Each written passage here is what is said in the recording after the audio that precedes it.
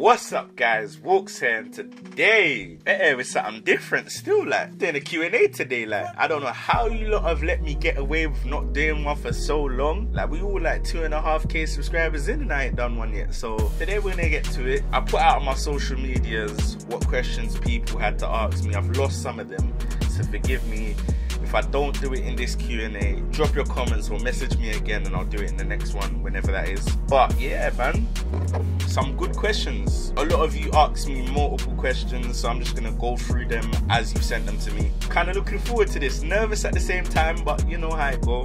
Alright, we're starting off with my guy Wardo Wallace. Shout out your thing. He asks, who do you think is the most talented artist you've worked with professionally? I think this is an easy one. I'm gonna say Double S. Why I say Double S? He's got the history as a grime artist from 2004, I think it is, all the way till now. He's been putting in work, and I've been in the studio sessions. I've seen his songwriting skills, his melodic abilities. He cold, and that doesn't mean the rest of the people I work with aren't cold. They're all dope, but due to his songwriting abilities, I put him up there at the top of the list. His next question is, who in your opinion is flying under the radar in the UK music scene? Who's gonna blow in 2018? I didn't know the answer to this when he first asked the question, but I'm gonna say Hardy Caprio. That guy's a problem, a very big problem. And who I would say that's got like a cult following but isn't as big as well, Shaki Dread. I'm always surprised at how many views he gets just pushing it himself. No paid promotion, none of the big Instagrams or social medias pushing his stuff, but he still does dirt. His last question was, when you're not doing reactions other man asks you to do, what's your top three to five artists you'll listen to always on the daily? I gotta check my Spotify thing for this still. That, that's, that's a bit of a mad question. I'm listening to Sub 10, that's definitely one, Sub 10. I listen to RV and Headie One a lot, so I put that as two and three, and we gotta do two more. Who else? I'm just gonna do UK as well, I'm not gonna do the US thing. Ooh, this is a hard one still. Kojo Funds I put in there as well. Hey, my Spotify playlist is actually a mix of everything, fam. There's not too many of one artist. I put Hardy Caprio in there as well still. So those are my five. Sub 10, RV, Headie One, Hardy Caprio, Kojo Funds.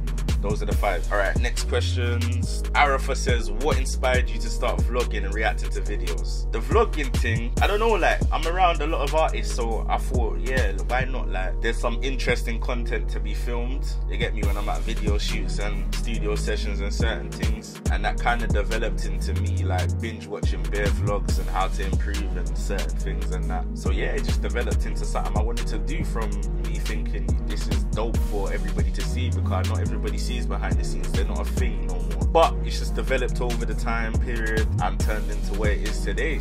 More me talking to you guys, showing you what I'm doing rather than just showing you what's happening. So yeah, shout out Arafa for that question. Next question is from my guy Carlos Wavy. Do you find it hard to do reaction videos to videos your own area has beef with? I don't do reactions to videos my own area has beef with. That's it's just not gonna happen. I'm not involved in no beef, but I'm just not gonna do it. Like I know too many people to do stupidness like that. His second question is: Is it hard for you to do reaction videos to your own ends when they're sending distance to others? Do you think you can get caught up, or is it all just music? It's just music to me, but I'm aware.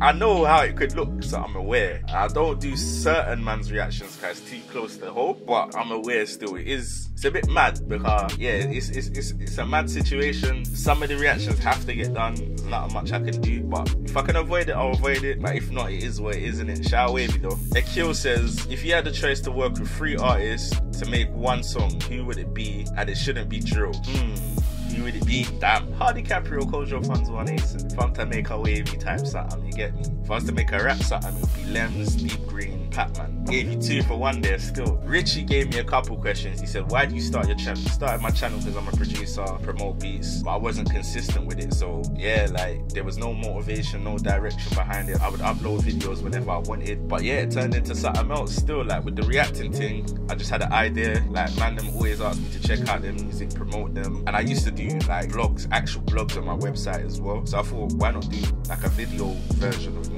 writing these vlogs? I used to watch Deep Speaks a lot as well, so I got the inspiration to just do reaction videos to promote my man. But when I started doing that, people started liking them. It developed. People started commenting which videos they want me to react to. I started getting recognized out in the street. People telling me my reactions are funny, so I just kept at it, man. His next question is, how did you join Marvel? What I think he means by Marvel is M Global. So M Global is Motivation Global It's Double S, Shocker, Sub 10, Ray, Historic, Tim Forbes, and me. So it was just a group chat of the man them. We was meant to go out on holiday, that flopped, and then it turned into M Global. And M Global's Double S thing. And yeah, we're just man them bros that's pushing each other's stuff in it, like helping each other elevate. We go to events together, we just do our thing, man. Who are the rappers you rate? I rate quite a lot, man. Lems, uh, Deep Green, Pac-Man, J Styles, ICB, Q2T, RV Headie One, Richie obviously, Double S, Shocker, Sub 10. There's too many to, to go through. There's bare like who do you think's up next? Alright, I've said Hardy Caprio, I've said Shaki Dread already. Akeno, if he keeps up his consistency, he's gonna be up there. Sub 10's bubbling as well. If he keeps up the consistency, like sub, we need another video. Come on, let's go shoot another thing, let's vlog it. And you get me? Like, come on man. We need another one. I got a tune with sub as well called Sheleton Square. It's gonna come out soon, maybe after his headline show, May the 10th. At Relentless, up in Tottenham Court Road. Free entry, got Melody Kane hosting, Limitless and Jam Pack as the DJs. Support acts are Reese West, Keno, CK and Richie, Double S and Shocker. I'll be there. Make sure you're down there. You get me? Again, free entry 7 to 11. Make sure you come. Quick plug, quick plug. But yeah, man, I'd say them two are who's up next still that I can actually see with my own eyes. Nay says, when will you come out of the jungle? Really, nigga?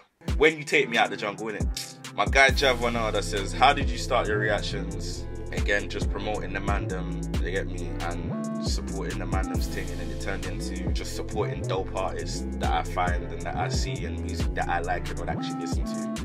And obviously the music that everybody watches me listens to as well. You also said, How do you start producing beats? I started producing beats when I was about seven, eight. Growing up in where I grew up in Tottenham, we had a lot of musical influences. My uncle used to make beats, he had Fruity Loops 3.5 seven. I used to watch him make beats. His friends would come around and make beats. Um, so I started making my own as I got older, just practicing, not really taking it serious. Double S used to actually make beats as well. He used to show me how he made them as well. Limitless made beats. So it's just, I was around a lot of man that had that musical influence and yeah, just kept at it. Used to be a rapper first. Not many people know that.